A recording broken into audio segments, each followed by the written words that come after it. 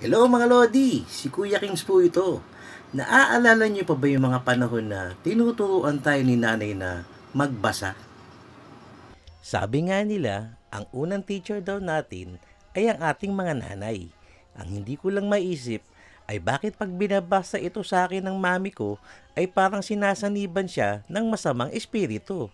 Nanlilisik ang mata, lumalaki ang boses at parang gusto kong kainin. Siyempre, bata pa tayo noon at hindi pa tayo marunong magbasa.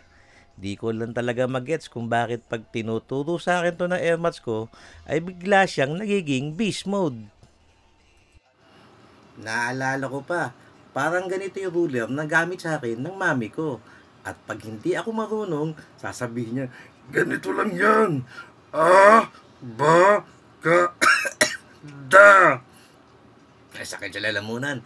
Pero parang ganoon mga lodi. Pero ganun pa man, natuto pa rin tayo magbasa, di ba? Ang sarap lang isipin nung ating mga nakaraan. Hanggang sa susunod mga lodi. Bye-bye po. Tanan tan tanan tan tan tan tan tan